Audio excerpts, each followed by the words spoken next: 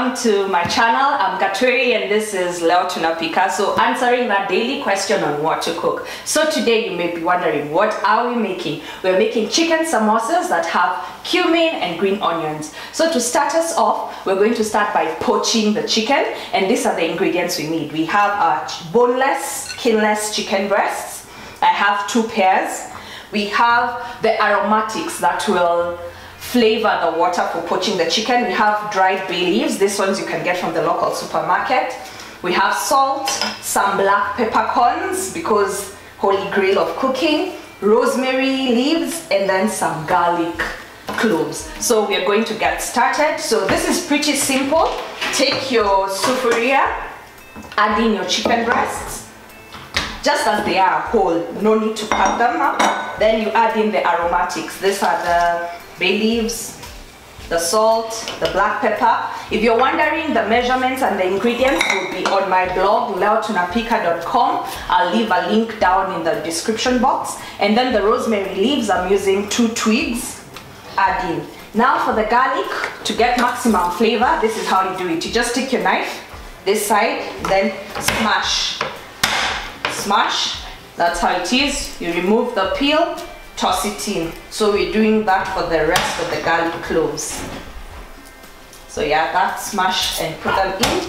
So it's as simple as that. Poaching is just boiling taken up a notch. You flavor the water with the, your aromatics of choice. And you, as you can see, mine are rosemary, bay leaves, garlic, black pepper, and salt. So now that we've added this, we finish off by adding a big jug of water to cover the chicken completely. So you start with cold water and have it. Chicken in the poaching liquid. Next, we're going to put it on the stove top and then let it simmer over medium-high heat for 30 to for 30 to 40 minutes until the chicken is well done. So as the chicken is poaching, we'll prepare the green onions that will be used later on to make the chicken samosas. So after 40 minutes, our chicken breasts are done. So they are completely poached. For the liquid, please, and I beg you, do not uh, throw it away. This is perfect for steaming some rice. If you're trying to make pilau, you can use it. So do not keep it. This is liquid gold. And now we get to the second part of making the chicken samosas after poaching the chicken. And you know, when you're making samosas, you must have these little guys with you. The green onions, they're perfect. They bring that pop of flavor. They have this sharp onion taste that just works perfect in samosas. So we're going to chop them up. As we're chopping them up, we're going to add cumin seeds. Here are the cumin seeds.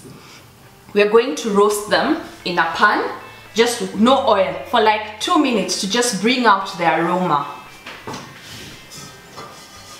Just toss. As they are roasting we get to chopping our green onions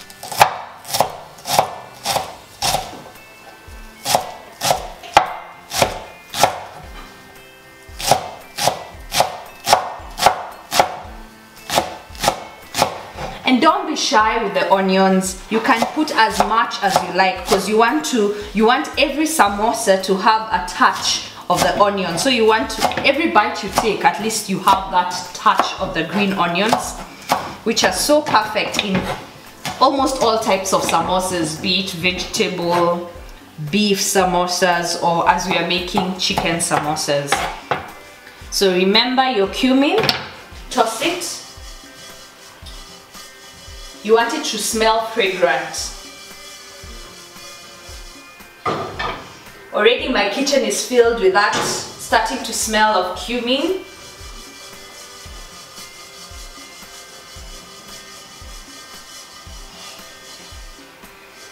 So put it aside.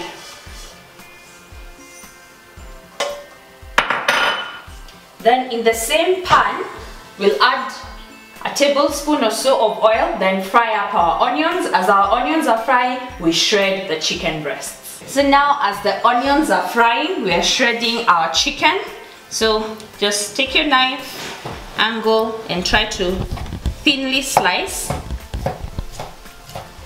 when you mix in the chicken with the onions it will sort of it will separate further so don't worry the reason why I prefer shredding the chicken as opposed to working with chicken that has been minced you want when you bite into the samosa you taste the chicken. Minced chicken sometimes has a way of tasting a bit uh, feeling a bit powdery of sorts. So it's best you shred so that you leave texture there. So that's our fast chicken breast shredded. So as you see it's very soft and juicy because of the poaching so even when you're making things like you can make sandwiches using this chicken yeah it's perfect for such things such feelings so now what is left is once the chicken is shredded the onions are cooked but not all the way through You'll add the roasted cumin seeds. We add the shredded chicken and combine and stir to just get everything mixed. Then we give it a taste for salt and then we adjust accordingly and finally we'll be ready to fill up these babies. I know you can't wait.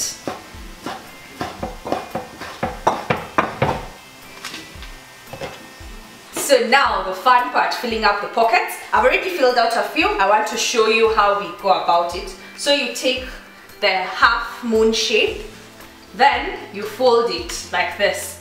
Let it, one flap, the big flap to fall on your side. Then you use some edible glue. This edible glue is just flour with water, the all-purpose flour with water to make a paste. Then using a brush again or, a, or your hands, you brush this, the side that is left. Then you fold it over here. So we folded it over to form the pocket. Now there you have your pocket. So take your spoon, put in your filling, about two thirds in, like this. There'll be an, an, a flap, this part that is empty, that will be to cover and make the samosa shape. So you put your filling there you have it like this then again with your brush brush your edible glue then fold it over tightly fold then empty end fold and there goes your samosa triangle shape so it's as simple as that taking the end flapping putting the glue closing it putting the filling then closing the pocket. Then do you remember the ones that didn't come out, that don't come out well when you're making the pockets? At times the others that tear. So you can cut them into small triangles and fry them up to make some tortilla chips or as I like to call them crackers or crackers depending on what accent you yes ascribe to. So yeah we get to frying. Oh one thing I need to mention before you start filling up ensure that your oil is already heating up since you're deep frying. So you, when deep frying, you want your oil to be extremely hot so that once you put whatever it is you're frying, whether it's samosas or fries, they don't soak up the oil, they just start frying immediately.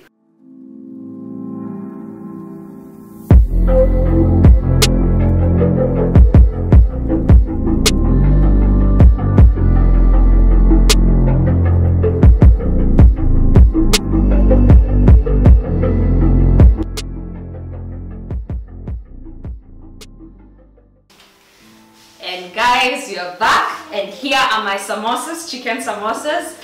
Don't they look amazing? So for samosas always serve them with a dip. This is a tamarind dip that I made for some bhajia so it's leftover. But if you want the recipe for it I'll leave a link down in the description box. So yeah moment of truth. Take your samosa dip.